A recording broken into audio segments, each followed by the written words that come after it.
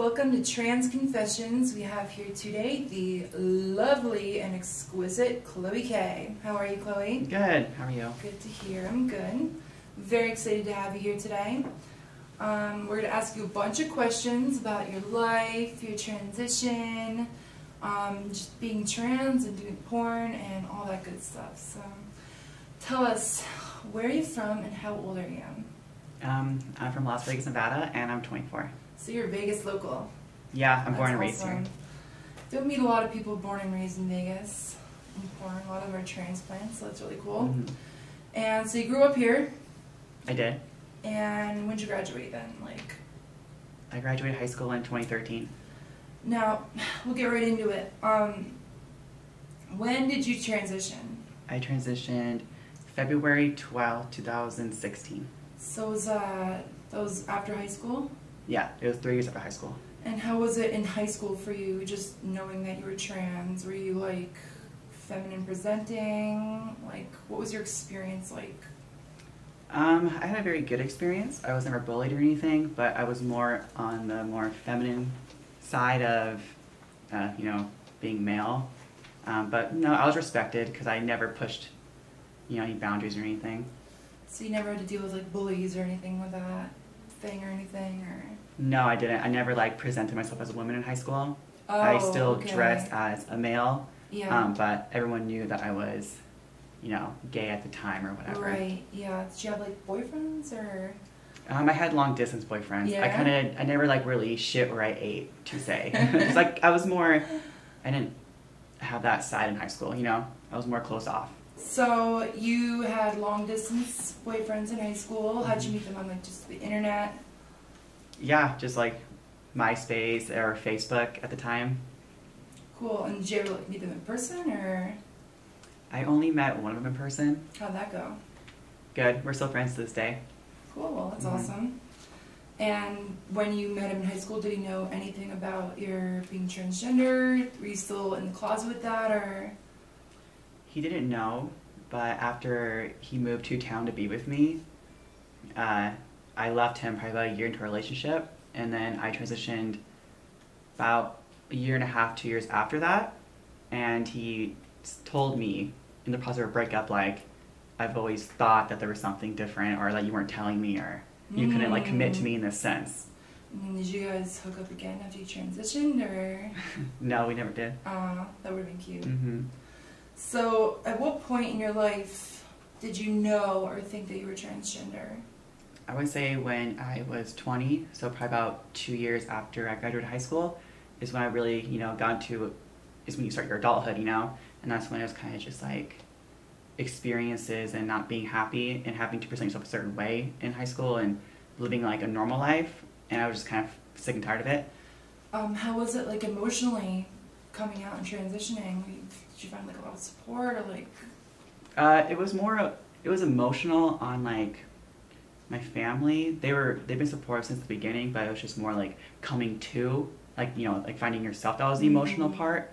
Um, but my family's been by my side since the beginning of it. Like, I told my mom, and she was, you know, helped me find like a therapist to get my subscription and everything. So it was super easy. That's great. Mhm. Um, it seems like it's getting easier and easier as Mhm. time goes on to just be trans and come out with it, and less shocking. I feel like you know. Yeah. Um, so tell me about your family. Who's in your family and who'd you grow up with? Uh, I grew up with my mom, my dad, my grandma on my mom's side has been in my life since the beginning, and my brother as well. Cool. And your mom and dad are married, or? Yeah, they just celebrated their 30th anniversary. Oh wow, that's so Mhm. exciting. Your whole family was supportive, not just your mom, right? Uh, yeah, so my entire family. At first, my dad was just a little confused at the thought of that, you know, that his son wanted Oh to goodness. be a woman.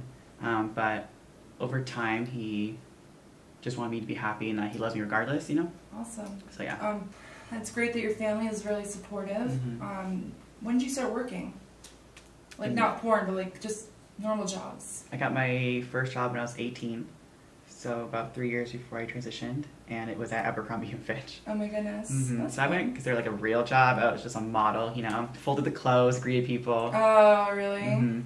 And you were in transition at that point. Yeah? No. No. I think was- at one point you told me you were you had transitioned on a job or something like while you're working? Tell me a little bit about that. Yeah, so I after I worked at Star or after I worked at Abercrombie and Fitch, I got a job at Starbucks, and that's when I started figuring out my womanhood, and I transitioned in the workplace at Starbucks, and around that time I was going through school to be a makeup artist, so then I got a job at Ulta Beauty as well as Starbucks simultaneous, and I transitioned to both fields.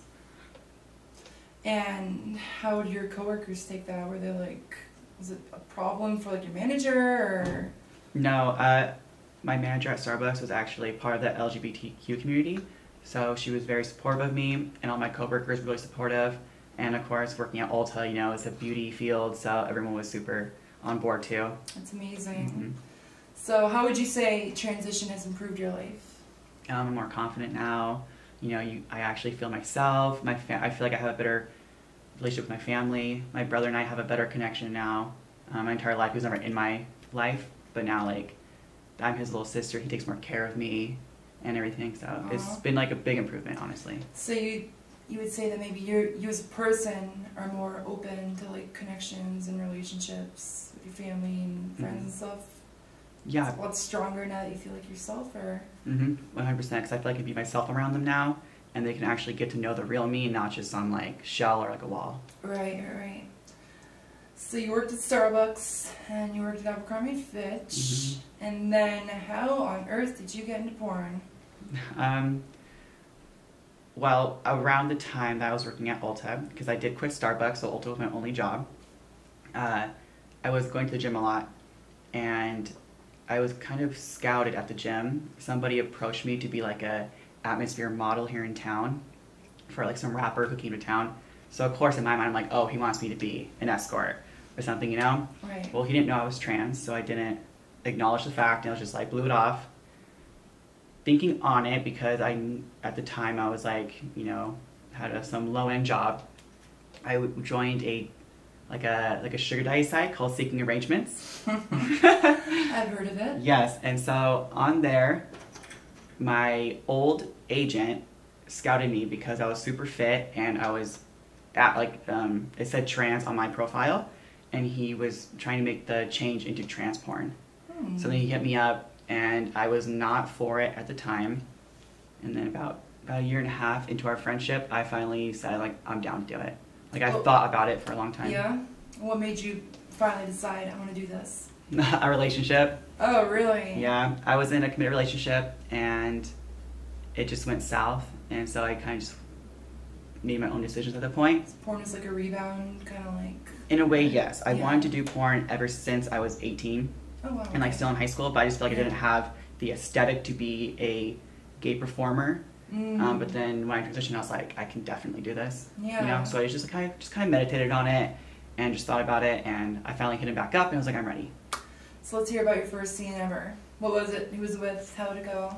My first scene was with Christian XXX, and it was for PureTS.com. Uh, it went good. I feel like walking into it, I wasn't nervous. I was more nervous at the repercussions that it would have with like if my family found out or just like in general. Uh, but yeah, it went super smooth. Great. And um, so you were nervous. How was like the response to your first scene? Uh, super good. I was actually really surprised because you know, walking into your first scene, you don't know if you're gonna go anywhere or do anything or get more work. You're just gonna kind of put yourself out there and, you know, like be vulnerable in that sense. So it was cool to see the good like um, encouragement that I got from it. And it's probably really exciting to be seen like beautifully as a woman. And, Yes. Like, revered for that, and Mm-hmm. so from there you've gotten a lot of work since then, and you've been all around. Mm-hmm. Um, what are your favorite scenes to do? Like, what kind of stuff are you into? I like more of the Gonzo scenes. Uh, Evil Angel, I love shooting for Evil Angel. I feel like that's where like I have a lot of my strongest scenes at with. It's a lot of like freedom to kind of be yourself on those sets. Yeah. I find. Mm-hmm, exactly. Yes, that's really great. Now, um, you've got a best friend, Mm-hmm. and she's a cis girl, She is. about your age, right? Yep, they're the same age. And you told me something before this, a little scandalous, that nobody knows about. Mm-hmm. She had a boyfriend. How long ago was this? This was probably about like two and a half years ago. Two and a half years ago. So she had a boyfriend, and then you slept with a boyfriend. Mm-hmm. I did. naughty, naughty. Mhm. Bad girl. How did that come to happen?